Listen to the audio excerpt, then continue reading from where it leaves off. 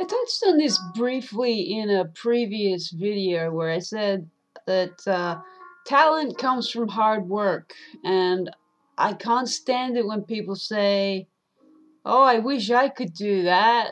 Oh, you're so talented. I wish I could do that. It's like, well, you can do it. Like, what's stopping you? Just do it. Like, if somebody's a good drawer, oh, I wish I could draw. What's stopping you? Just draw. Do it. What's stopping you? I hate it when people say that someone is just, oh, you're just naturally gifted. You just gotta, you just, it just comes naturally to you. No, it doesn't. That just shits on all of the hard work that that person did, that that person put in to learn that skill. Like, oh, that person's just naturally good at that.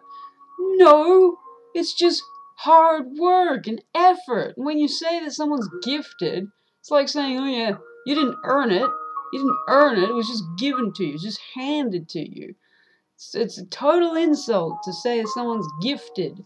You say someone's naturally talented, just shits on all of the hard work and effort that they put in. And it's like saying, you didn't earn it. And I know that people don't mean that when they say, oh, you're naturally gifted. They're, they're trying to be you know, they're genuinely trying to be nice, trying to compliment you. But I don't think that we should value this natural talent shit.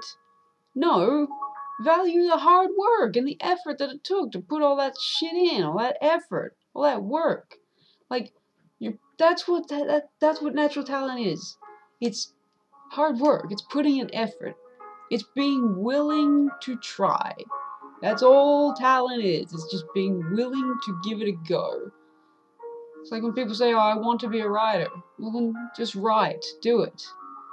You know, it, doesn't matter if you're good, good at it or not.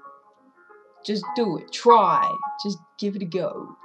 That's, that's all that talent is. It's being willing to put in effort and hard work.